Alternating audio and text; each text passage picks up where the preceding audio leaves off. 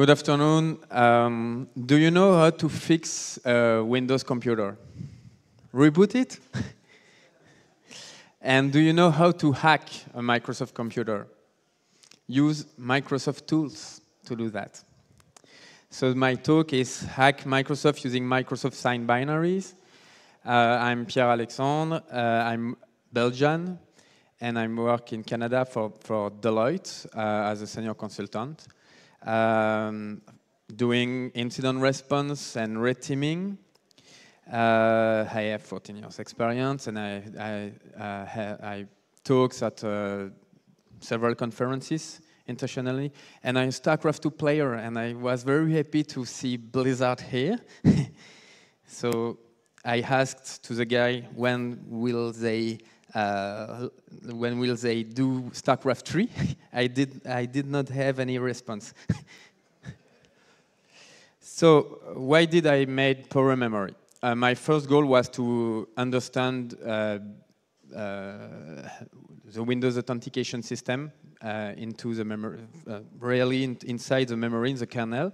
I wanted to learn PowerShell and learn memory concepts. Um, what is Power Memory? Power Memory is a Minesweeper solver. That's all. Thank you very much. no, that's not true. so um, currently, all eyes of security guys are on PowerShell. You have a lot of tools that can detect PowerShell activities now, like Carbon Black, Tanium, but also some uh, endpoint antivirus like Symantec as they did a very good white paper about um, the increased use of PowerShell in attacks and some patterns they can detect. Um, we get some power, the, the which was last year the, the first ransomware uh, into the memory. I did a, a, little script that you can find on my GitHub called invoke Tartarus uh, that does the same thing, so uh, running into the memory and encrypted files. But I think there are more possibilities than just PowerShell with PowerShell.exe, etc.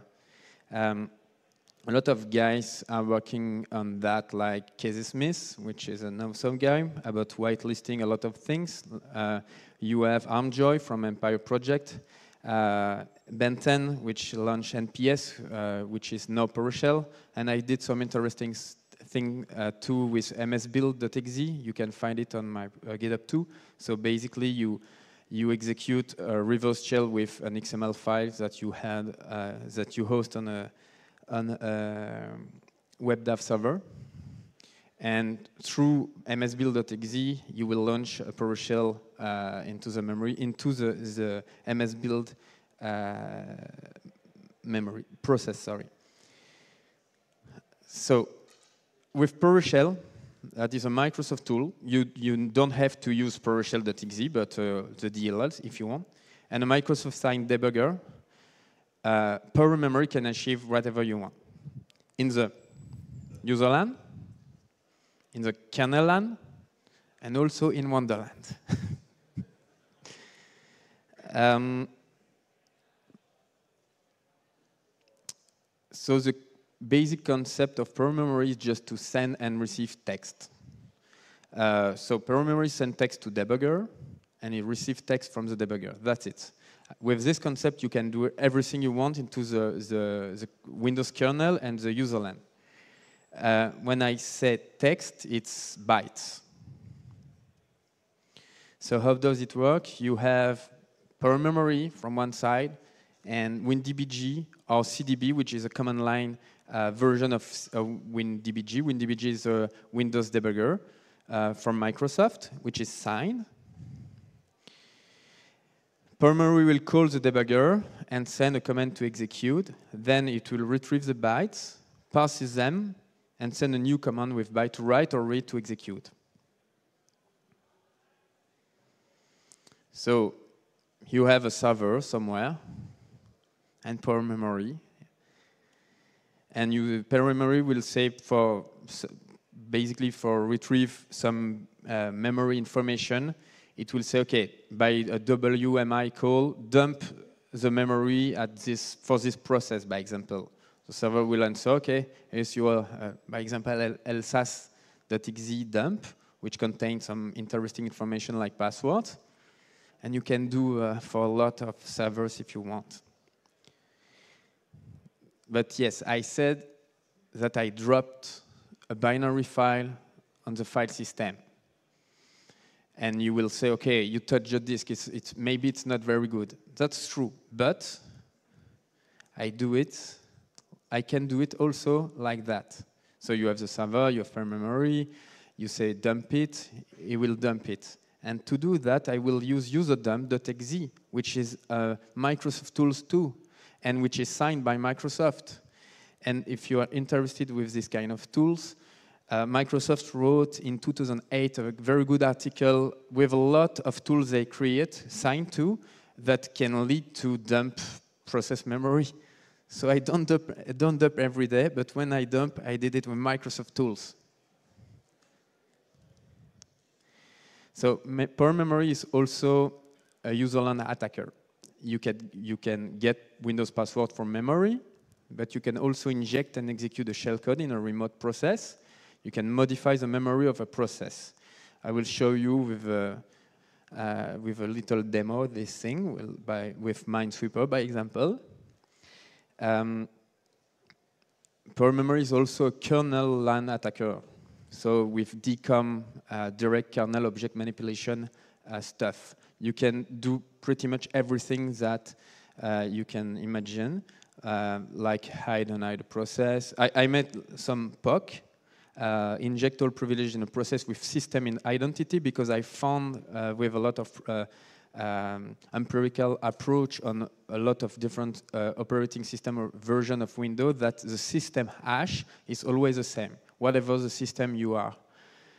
Um, so you can inject this identity pretty easily. You can pass the token attack, protect a process with this concept. So also because I like a lot uh, Active Directory, uh, it can do a lot of things about that to recon it. So it can SPN scan, which is pretty useful when you want to find, by example, all the SQL server in a domain, all the file server in the domain. I don't know which uh, wall you, you want to find, but it's uh, very useful because you have just to um, ask the domain controller one time, okay, show me all your uh, SQL server. You don't have to make an map very noisy thing, or thing uh, but just asking to the domain controller. You get GPP password of all connected forest, not just the forest when you land it, but all connected forest.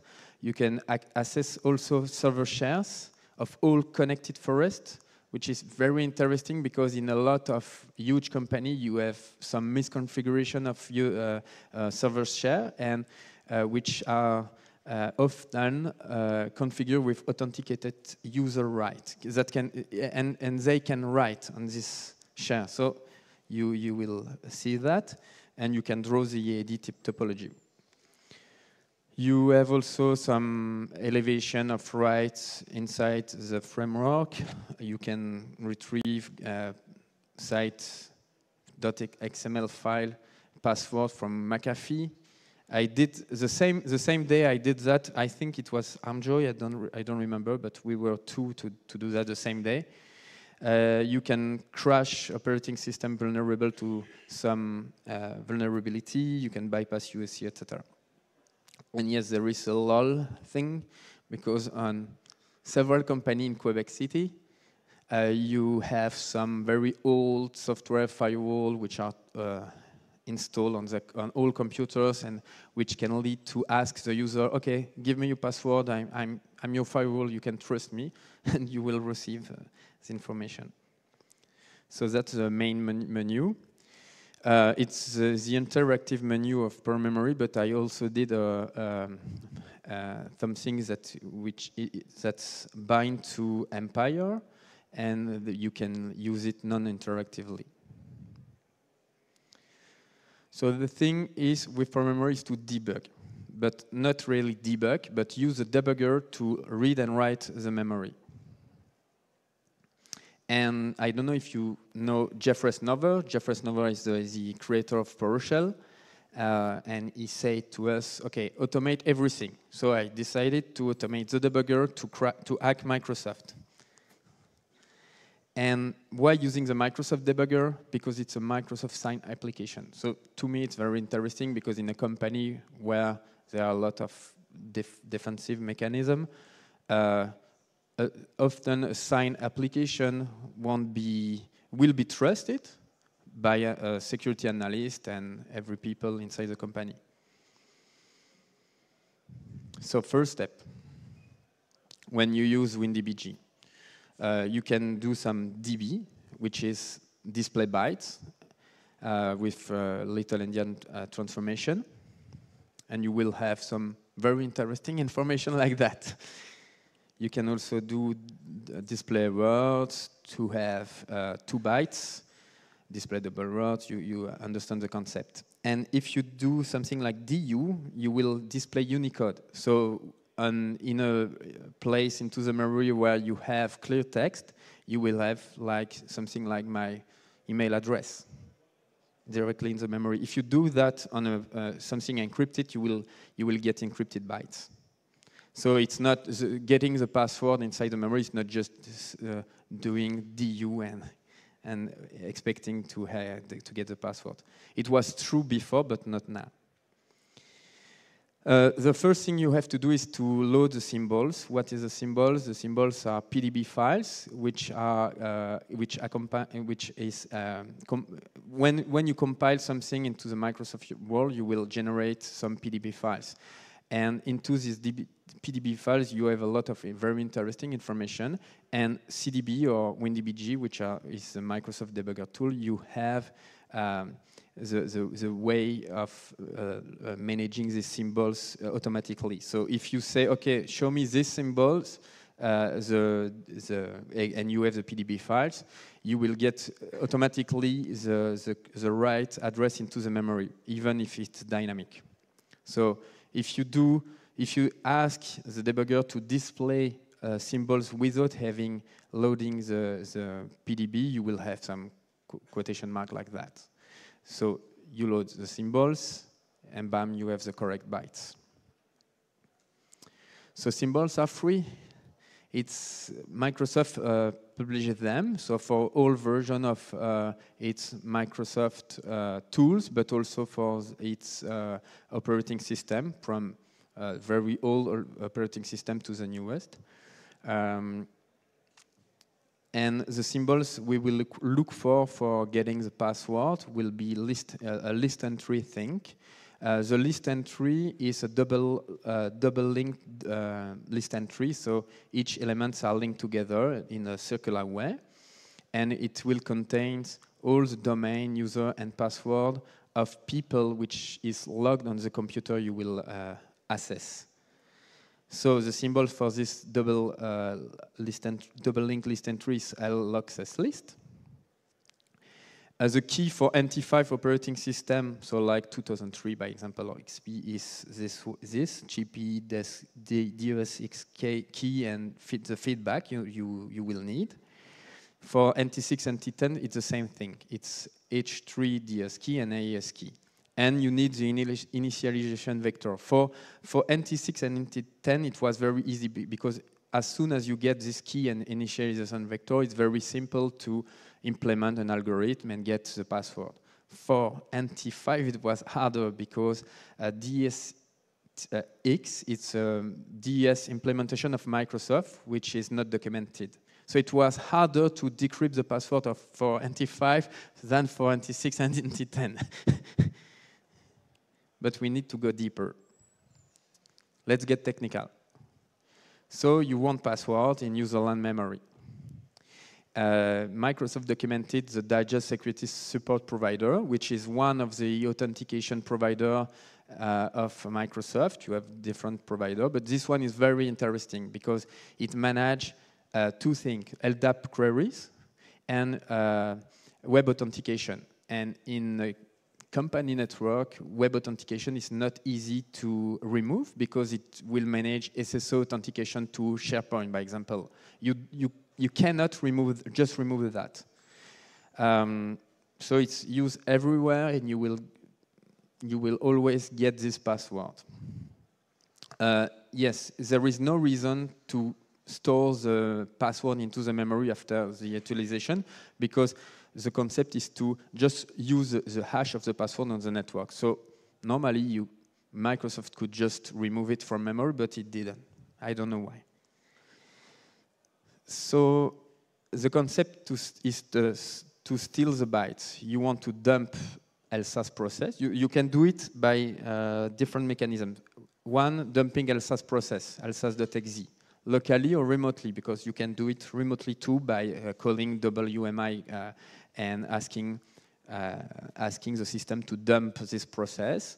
You can convert ibers file.sys to dump file. You can make the computer crashed and get the dump file and then give it to per memory and it will get, give you the, the password. You can leverage the hypervisor. This, this point is pretty much the, the most interesting uh, because I, I, will, I will uh, show you after, but basically if you are just an operator on Hyper-V on VMware, you are like uh, you have more right than a domain administrator in, the, in, in this network. Um, and also you can, if you have kernel mode access, you can directly access LSASS process and you have no need to dump the memory, but just access to the information you need. So I say for the hypervisor, you say you are an, uh, an operator uh, in an, an hypervisor environment and you have uh, less right than a domain admin. Seriously? So this thing is on Hyper-V, but it works also on VMware. You will just use an Hyper-V tool from Microsoft, uh, which is a tools write, wrote by uh, Mark Rusinovich, which is, which is LiveKD, and which will allow you to dump the memory of a, virtual machine running into the, the Hyper-V system. So once you have this dump, you give it to per memory, and it will give you the password. And even if you have absolutely no right inside the domain or inside the virtual machine.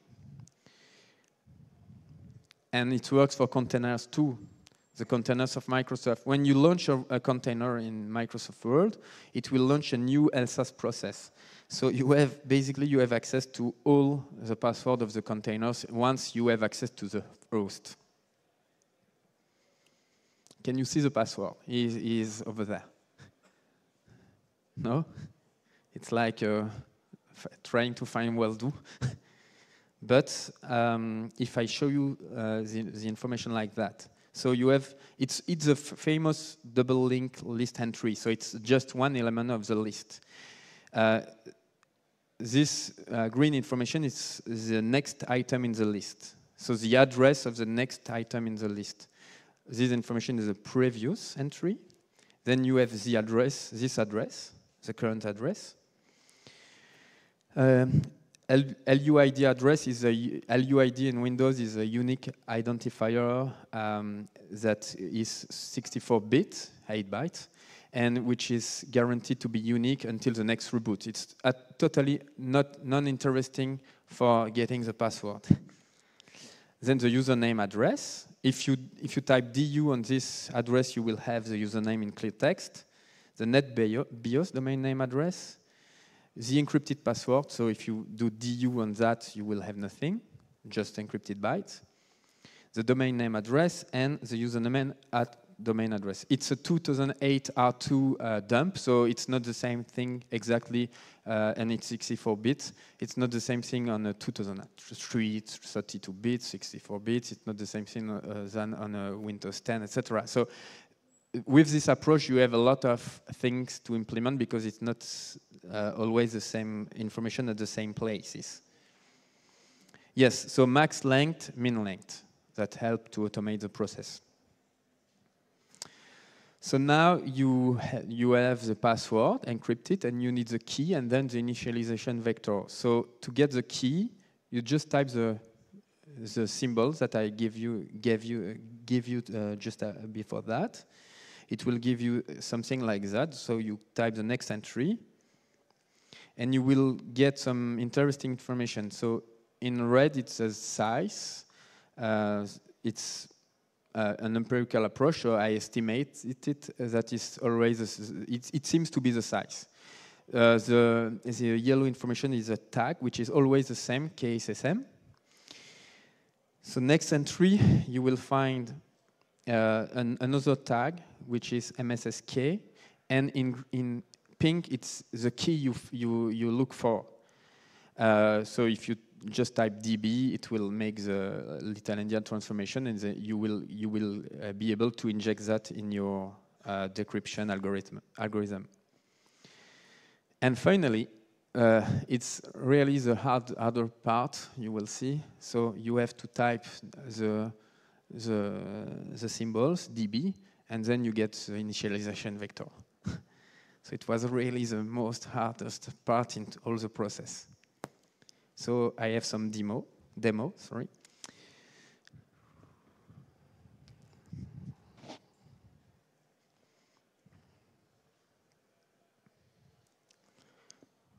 Okay. Okay, so it's power memory, you have the menu. You want to reveal password? Yes you can ask for memory, okay, you will find password eventually, maybe you will find password. Uh, do you want that I try to tell you what kind of account it is? It is a backup operator, it is an administrator, it is a domain administrator, it is an um, enterprise administrator, something. If you say yes, it will ask to the domain controller. So if you want to just stay in this system and don't do any request uh, outside, you, you will just say no. So locally, in this case, I, do you want to exfiltrate the information paste bin? No.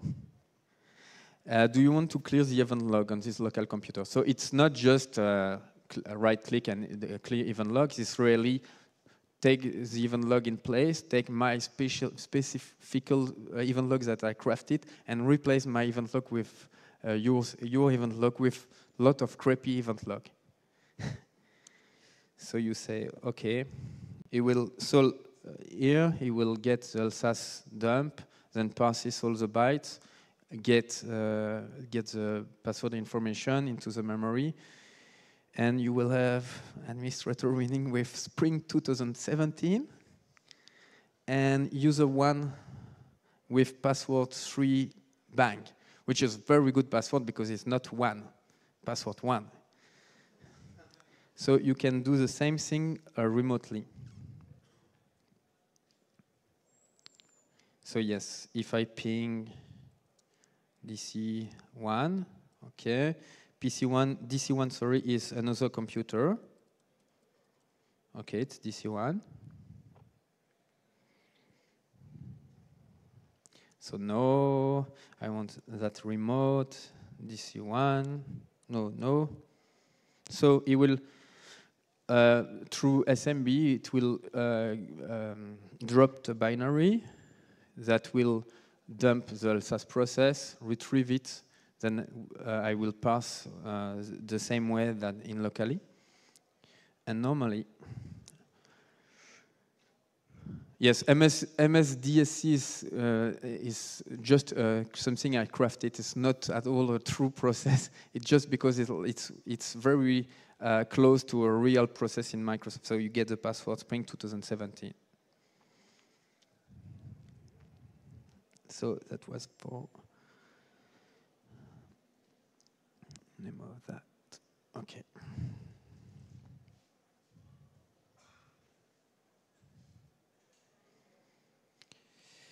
So in userlearn, you can also, with this technique, inject a, inject a shell code in a remote process and execute it without calling API. So normally when you do that, you will say, okay, I will, I will virtual alloc something, and then I will call an API in Windows to execute the process. But my goal was to just do all the thing by just sending byte and writing byte and reading bytes through a debugger.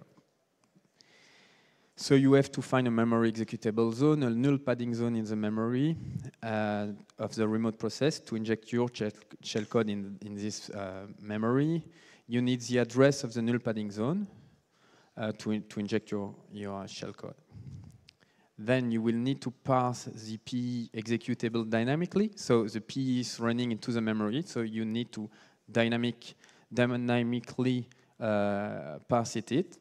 You will find the address of the module loaded to inject, and a lot, basically and sequentially, you will find all the information that you need until the padding zone.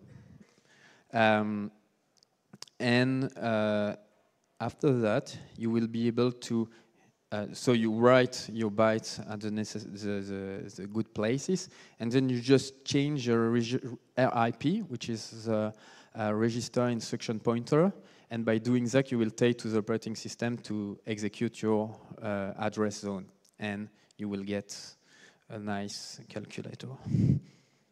So I have demo, demo for that.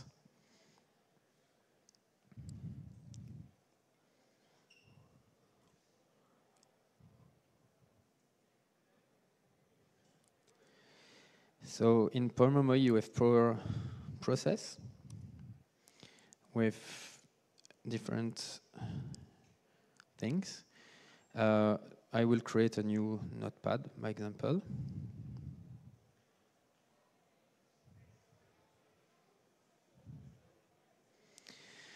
And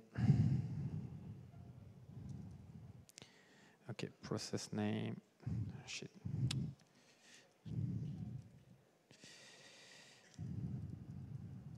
Okay, process name notepad.exe. So up, and you have it. If I look in per, per, uh, Process Explorer, sorry, you will find Notepad is injected with a calculator. And I have some interesting other findings. If you want now to, okay, I, I will just go back to that because we have kernel stuff too. And yes, I need to present a view. And with the same technique, if you are able to get in kernel uh, by reusing a, a known technique to hide process, I will do the same thing, but just by reading and writing the bytes. So the goal is to hide a process in, in, a, in, a, in, the, in the correct list into the kernel. So you want to do that. If you want to do that, you have to break this link, and then so you it's the bytes that you will uh, write to do that, and you you need to just uh, create new links from previous and next process. And then if you just do that, you will have a, a nice BSOD because uh, the operating system now uh, will figure it out. It will say, oh, uh, it's not normal, I have a, a, a, a process structure, e process structure, but that is not linked to anything. It's not normal. I, I have to crash because I, am corrupted. So you have to redo just the link of the process you uh, you you hide. And remember, I just injected a calculator in in Notepad. So I want to hide this process.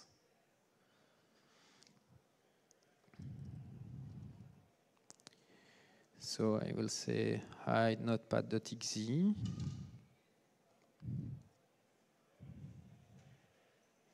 So notepad is over there.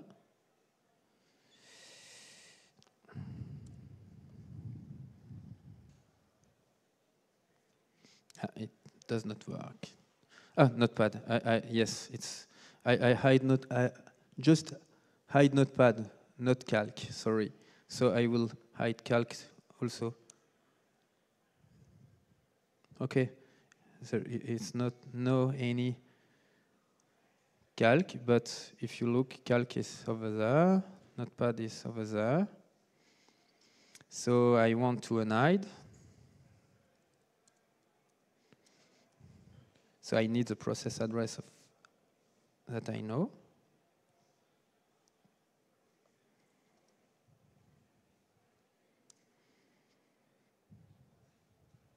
And calc is there.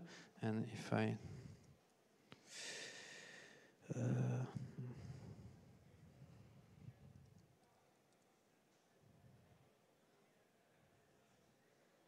okay, Notepad is there too. Cool. Okay. So, so you, you did some userland uh, things and kernel-land things too. Um, I made some weaponization to be able to do that in real world, and I did a pull request into Empire, but since a lot of things happened to the project Empire, with people leaving as a, a company, uh, it, it was not uh, it was not integrated uh, currently yet, but it will be normally in uh, 2.0 version. Um, yes, I will that. It's it's the I didn't correct it, but the the new pull request is 503, not 298. So if you want to do the th same things with an agent that you have in, in, into the memory, you have to be fishy first or find another technique. For the target to load your, the Empire agent or another agent if you have another one, through your agent, you will load per memory in the target machine memory, drop the signed debugger, and you never you want, you will uh, make calls to the Windows API. So if some advanced endpoint detection and response tools try to find you because you call some API uh, Windows, uh, it, it, it, it will be, it won't be able, able to find your, uh, your stuff. And then you make fun and profits. And then you go to jail. Normally. so the demo. Yeah, I, I don't have this, this demo. I, I just have, uh, I can show you.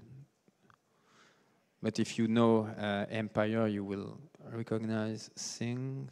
I, I think I have this. So yes, you use credential RWMCRS and just saying run here, you will have something like that. So the same thing that in interactively mode, but in a non-interactive process. Okay, mitigation.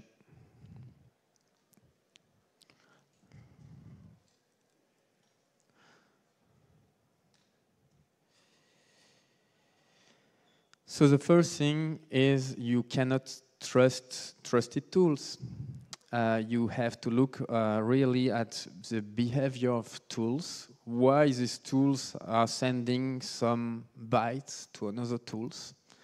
Uh, so you have to understand what they do. You have to look for dumping activities.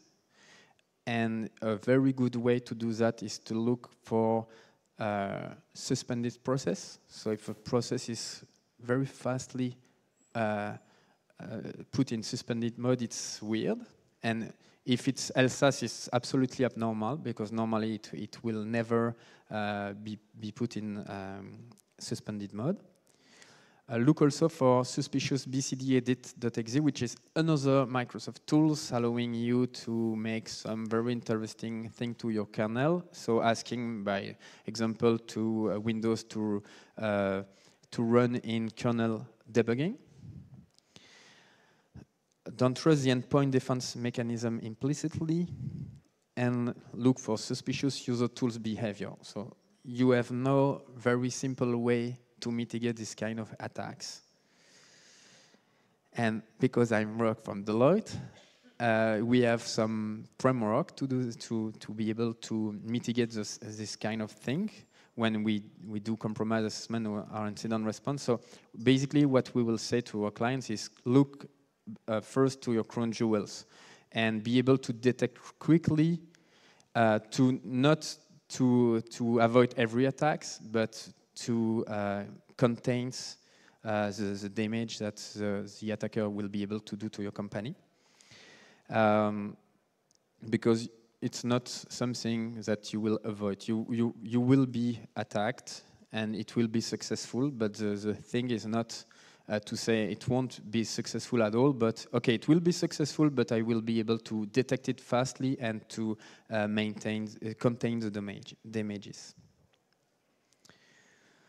So uh, the main takeaways is um, the, the basic SIM uh, use cases uh, can detect already API calls. It's, it's easy. You, you have just to say, okay, I saw that this process make virtual alloc uh, calls to uh, this process. So it's not normal and security analyst will be able to view that. Um, sorry. Um, using a sign debugger, okay, you drop something on the disk, um, but it will uh, force it, it will force the, the blue team to look for the behavior of, of your attacks, not just because this tool was assigned, it's okay, I can just avoid to look for that. Um, you can use public symbols to get memory addresses of every Microsoft uh, tools, but also for every tools which were compiled in Microsoft uh, World. With this technique, you can play New Zealand and kernel land and look at Empire 503 pull request because uh, there is also a, a certificate bug which I corrected. I want to see you something before the end. So I said you can manipulate memory and if you want to play, you can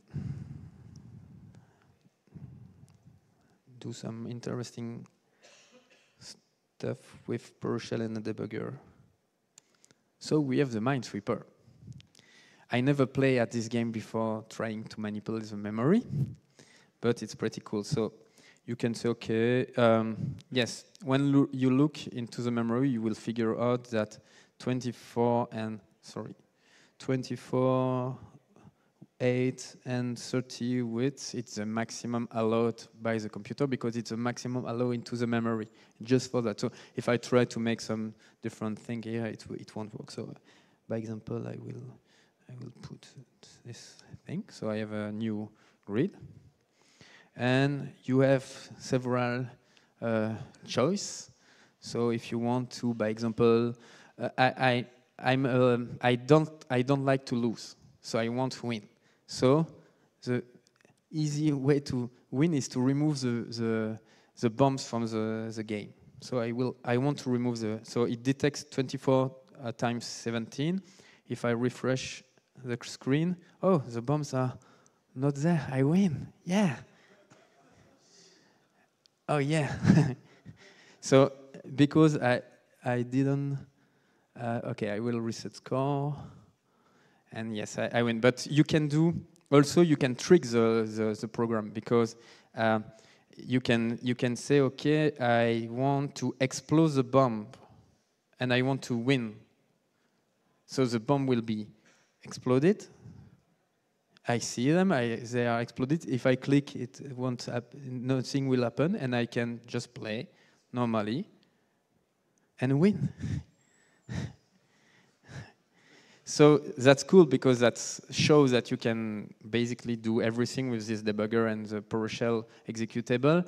And uh, that's funny, but if you do that in another software, it maybe it will it won't be so funny for several companies. But Microsoft likes this tool because they uh, call it a hack tool officially. They make a signature for this tool just just after I I tell us, hey guys, I, I saw that. Uh, is that normal?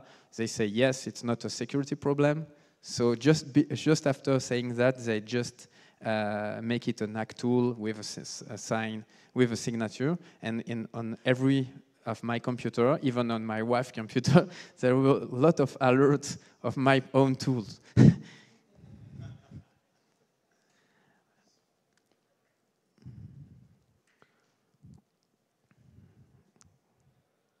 Thank you. That's the end of the talk.